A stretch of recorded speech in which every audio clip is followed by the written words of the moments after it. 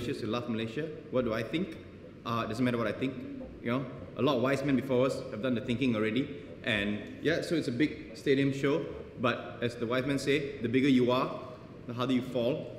I've done shows as well. 450 seater theater sold out. Yeah, but okay, mathematically, 450 is less than the thousands. How is it going to get? But back to the stages of antiquity. Yeah, less is more. So I think we know who's going to get the last laugh, right?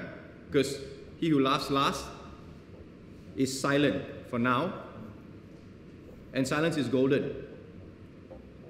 So check yourself before you wreck yourself. Hey, Douglas, you, you found the poster. Hey, I hope you don't mind. I know that uh, Jason's your friend and all, so I just I asked him to open up for me. Is that all right? Yeah, Yeah. of course. What? Me, he's a doctor, right? And laughter is the best medicine. You obviously need a lot of medicine if you're Yeah. pulling this off, because you know, a bit therapy as well. So, so you're okay with that then? Sure. Cool. Thanks. Please let me open. Sorry. Please let me open now. I'll, I'll, I'll, I'll open after Jason. Why, why would you want, why would I want to open? I always open for you. I open for you when we were doing small shows in IT Studio Bangsar. Yeah. I open for you when you did the, the nationwide tour. For the laughter, I open for you. I've always supported you. Jason opens for me. That's why he has his level. He opens for me. How can you? I open for you. I always supported you when you had your restaurant. I, Yep. Right. I, when you had when you when you had when you had your restaurant, I went and I ate the food and I said it was very nice and I and I give you gave, give a tip. And when your son and was one one hour, I, I bought gold. What?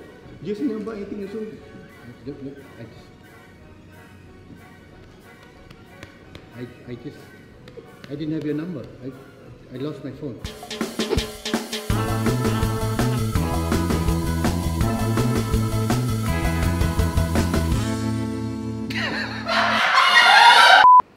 Please let me